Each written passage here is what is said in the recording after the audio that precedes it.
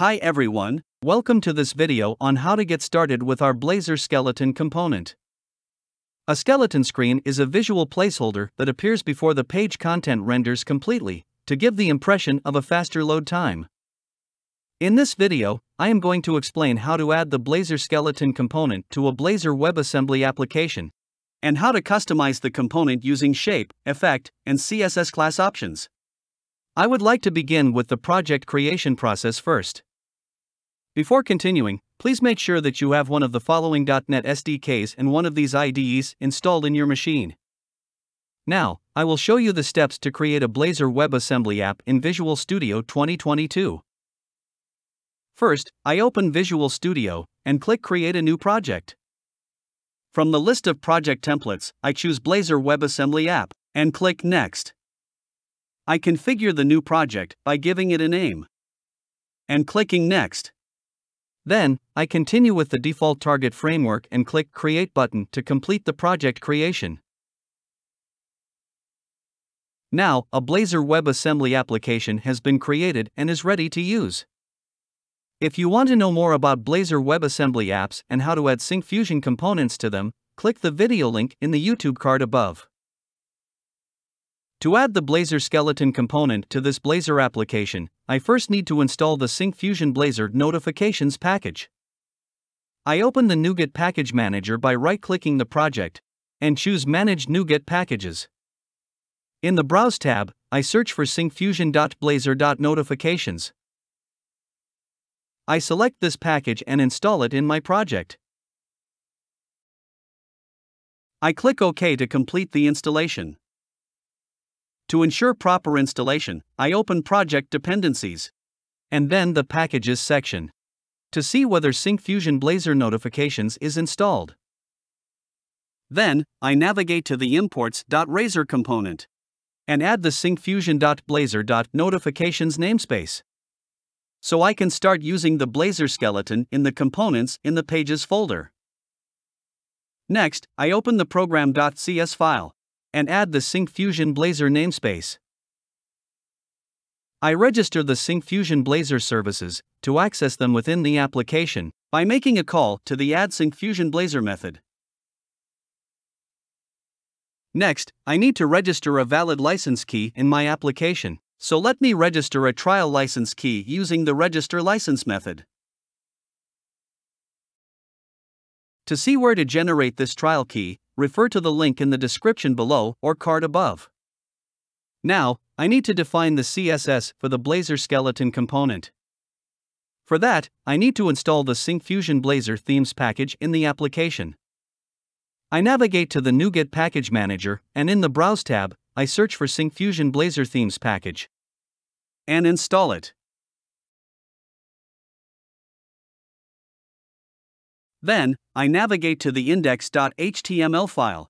Here, I refer to the CSS file from the installed themes package. I also add the script reference manually to enable better loading performance of the app, since the Ignore Script Isolation option is enabled by default. Now everything is configured. Let's see how to render the Syncfusion Blazor skeleton component in the application. Look at this image, here is a card layout with images and text content. It has a profile picture, profile name, and post content in it. I am going to show you how to display the skeleton layout for this card content. For that, first I need to design this card. I am going to add this card in the index.razor component. So, let me open it and remove the default code on this page. As a first step, I add an HTML division element. To this division element, I add the class attribute and set the predefined class eCard to it. This eCard class will add some default style attributes to the outer layout of the card UI. Next, I am going to add content to this card. Here, I have added a HTML table to place the image and label elements. Using the image tag, I displayed the profile picture. Then, using the label element, I displayed the profile name. And finally, I added another image tag in a separate division element for displaying the post picture. Here, I have made some customizations in the CSS styles using the style attribute for better alignment of the contents inside the card. I save the changes and run the application. Looking at the output page, the card layout is rendered with the defined content. Now I will show you how to display the skeleton layout for this card content. So, I will replace every element in this card with the appropriate skeleton layout. Then, I illustrate the real purpose of this skeleton layout by showing them as a loading indicator before the actual content of the card loads. Let me start to replace the card elements with the skeleton component now. Here, I comment out the image tag used for the profile picture in the card and add a SF skeleton tag.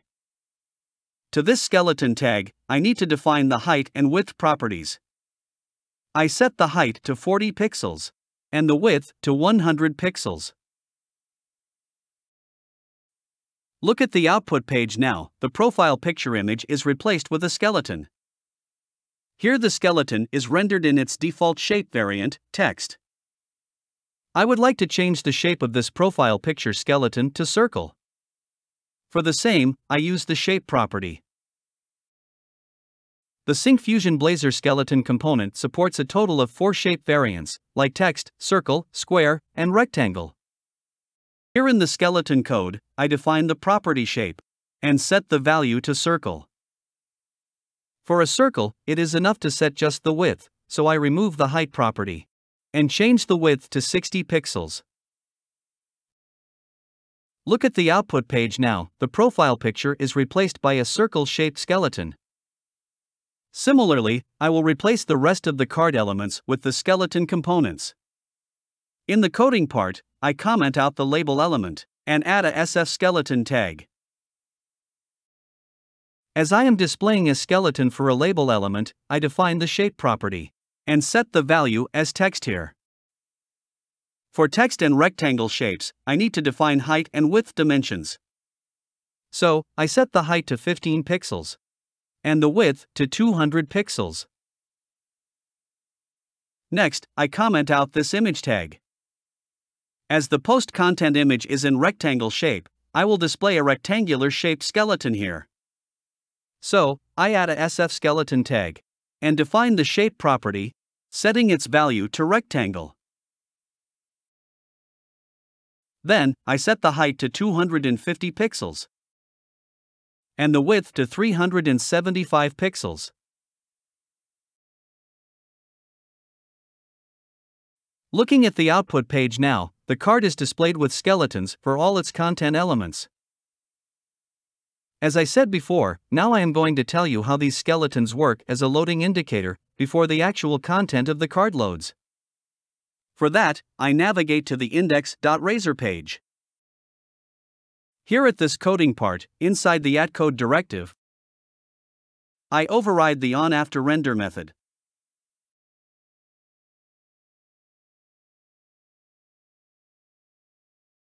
And check the value of the first render parameter.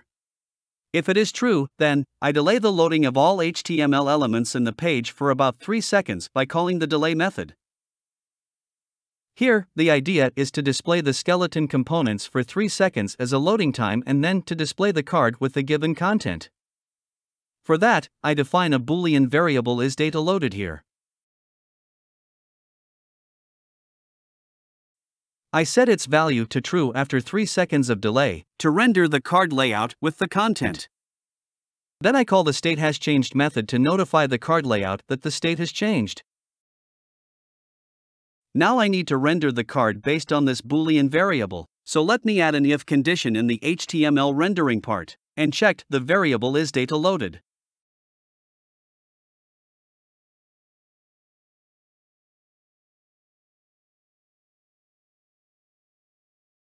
If it is true, I render the image tag in the card. Or else I render the skeleton of that element.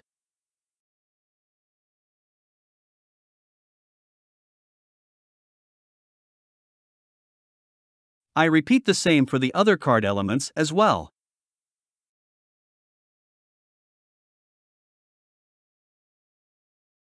I save the changes and run the application. You will see the skeletons display as loading indicators for about 3 seconds in the output page and disappear as the content of the card loads. Next, I will show you how to customize the look of the skeleton component by changing its background image and color using the CSS class property. Here, I define the property CSS class and set its value to eCustomize. Then, I repeat the same in the other skeletons.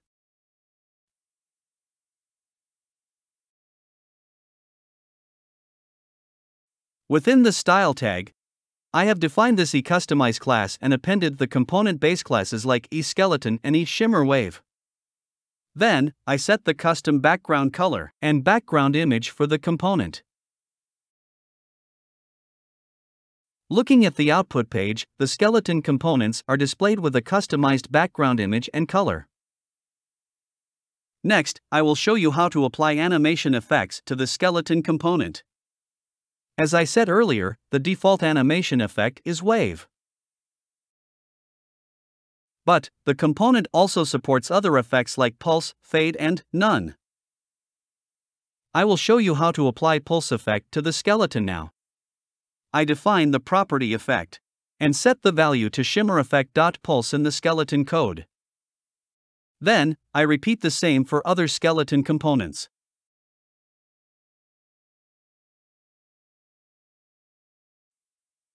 See the output page now.